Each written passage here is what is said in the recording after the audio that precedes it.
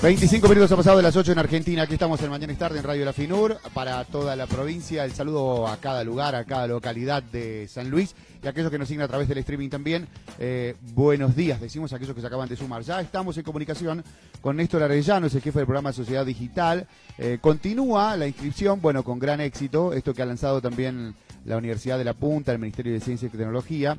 Innovadores emprendedores de San Luis al mundo con bueno la posibilidad de que adolescentes y jóvenes puntanos puedan participar de esto con importantes premios y esto es obviamente incentivar a eh, presentarse, incentivar a la innovación eh, e incentivar a que se generen nuevos emprendedores. Está Néstor Arrellano, que es el jefe del programa Sociedad Digital, como te decía. Eh, buen día Néstor, saluda a Sergio Bastías, ¿cómo va? Buenos días Sergio, un saludo a todos un gusto recibirte en la radio en la mañana. Bueno, el, el concurso que continúa recién ha comenzado, digo, pero hay una, una gran expectativa, ¿no? De, de los que obviamente están preguntando y por supuesto de los que ya se han inscrito.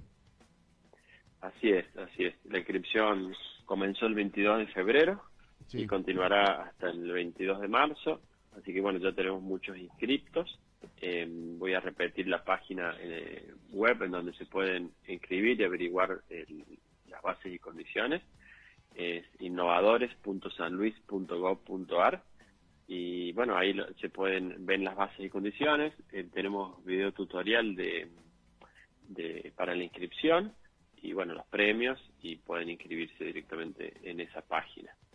Bien. Este, bueno, para jóvenes y adolescentes de San Luis, digamos, desde los 13 hasta los 24 años pueden participar, están todos invitados a participar y la idea es bueno promover esta expansión de cultura innovadora y emprendedora en la provincia de San Luis que, el gobernador ha pedido que, se haga hincapié sobre todo este año. Nosotros en innovación veníamos trabajando hace unos años anteriores con, varios concursos y ahora le damos e, esta, esta vuelta hacia el, hacia el final de la innovación que es el emprendedurismo y que los chicos y las chicas se puedan eh, preparar para poner en marcha eh, un emprendimiento propio o innovar dentro de lo que sería un, el ámbito privado o público en algún en alguna un organismo, ¿no? Bien, está dividido en categorías, ¿no, eh, Néstor?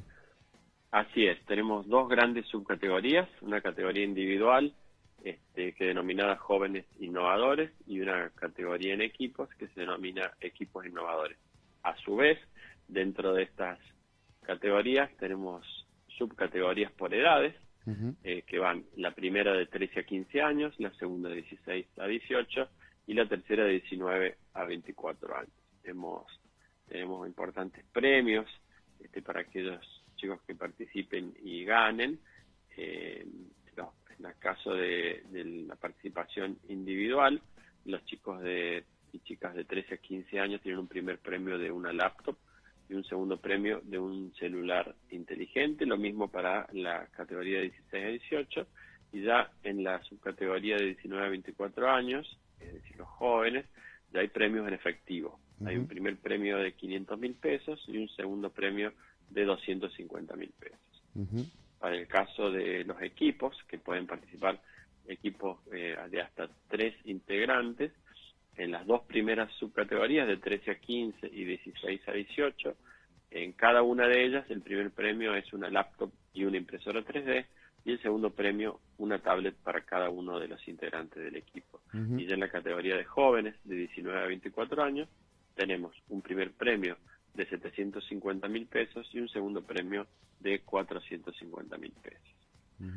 Bien. Bueno, eh, más que interesante, ¿no? Y también, bueno, por así que puedan determinar eh, en qué lo puedan implementar y por allí los más grandes, ¿sí? A los, los que ya están en edad, por ahí generar algún algún nuevo emprendimiento y los más chicos, bueno, por ahí pueden eh, surgir ideas para que para, para otros, ¿no?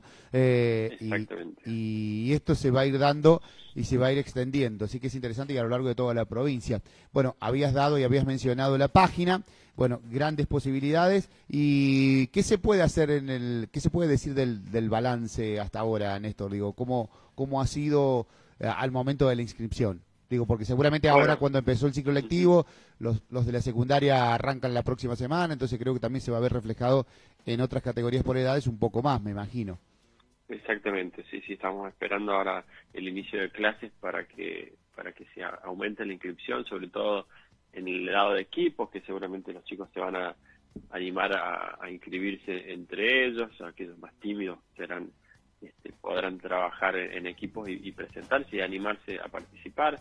Eh, es muy sencillo, tienen que eh, tener una idea sobre algún producto o servicio existente y decir, bueno, ¿cómo lo puedo mejorar? Este, y mostrar esa mejora. Nosotros eh, les pedimos a ellos que en la etapa de registro de la propuesta, que es un formulario, ellos tienen que presentar un video de dos minutos este, donde muestran esta solución innovadora que ellos presentan. Eh, obviamente tiene que ser lo más atractiva posible porque este video nosotros lo subiremos a, a nuestra plataforma y de ahí el público va a votar y de la votación saldrá elegido, eh, serán elegidos los ganadores. Entonces, bueno, eh, la idea es que, los chicos se animen, ellos tienen mucho manejo de la parte audiovisual, este, bueno, que, preparen este, este videito de dos minutos contando su propuesta y que esta sea la, forma de, selección. Nosotros, digamos, queremos eh, utilizar el concepto de innovación en sentido estricto, eh, pero para de una manera de, aprendizaje, que, los chicos eh, aprendan con este concurso eh, el significado, digamos. La innovación es esto que mencionaba, es una mejora sobre un servicio o un producto existente y podría ser la creación de un producto nuevo. Luego eso se, se, se, arma el prototipo, se pone en producción, digamos, estamos hablando de la vida real, y luego va al mercado y se vende. Y es innovación cuando tiene éxito en el mercado y tiene aceptación en el mercado. Entonces, nosotros con este concurso simulamos esta realidad. Los chicos tienen la idea innovadora, arman la solución, la presentan en el video, que sería como la forma de vender eh, esa solución o ese producto innovador, y luego la votación sería como el, el mercado, la demanda, quienes, quienes compran este producto servicio con su voto. Entonces arma, eh, tendríamos armado el concepto completo de, innovación. Bueno es interesante. Y es el público quien en, quien es, el jurado es el público exactamente el jurado es el público y estaremos anunciando los ganadores el miércoles 17 de mayo Bien. Eh, bueno, aquí también se pueden involucrar los docentes, ya que hablábamos del inicio del ciclo lectivo, también pueden estar aportando eh, y colaborando, ¿no? Con los jóvenes. Exactamente, bueno, también les pedimos a, los docentes que se empapen un poco del tema, que si es necesario nos, pueden contactar eh, al Ministerio de Ciencia y Tecnología y los ayudaremos a eh, darles material. El material está todo en la página, pero si fuera necesario eh, algo directo, hablar con ellos y ayudarlos a que entusiasmen a, todos los adolescentes y jóvenes de San Luis este, a participar. ¿no? La idea es que promover esta cultura, este, incentivar generación de nuevas soluciones y emprendimientos innovadores en todo el ámbito provincial. Bien, bueno, eh, Néstor, interesante y reiteramos entonces hasta eh, qué día de marzo tienen tiempo de poder inscribirse. Hasta el miércoles 22 de marzo a las 14 horas, que es la hora en donde cerraremos el proceso de inscripción. Bien, luego, luego de eso, bueno, se va a dar a conocer quiénes son los ganadores y los premios se van a entregar. ¿Cuándo me dijiste? El, el jueves, perdón, 17 de, el miércoles 17 de mayo de 2023.